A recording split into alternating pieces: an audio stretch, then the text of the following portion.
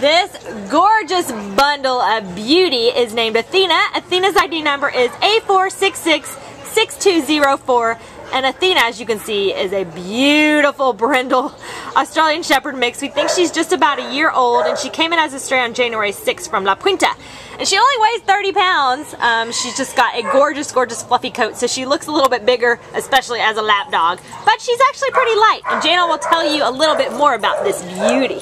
This sweet girl was found as a stray with her companion, and they both came in rather shut down, but um, they love having the attention. They love being pet. They have zero, um, seem that they have fear towards humans, they have fear towards being in the situation. So that means that once they're in an environment that's stable and loving, they're just going to blossom.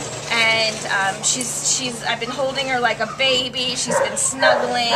So it, it shows a lot that even in, even in this much of uh, amount of stress that they're so trusting. It's a really great sign that they're going to be an amazingly loyal dog. Nothing really seems to um, to bother her too much. She's got a pretty good temper, as you can see. Other dogs. Um, I think she's going to be a great fit for a lot of people. She's got a really good size. She's only 30 pounds.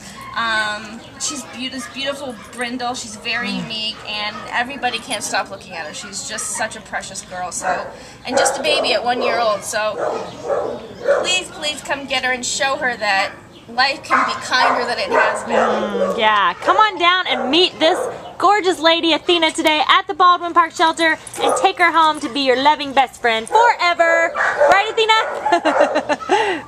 Bye bye, big lab dog. Oh, yeah.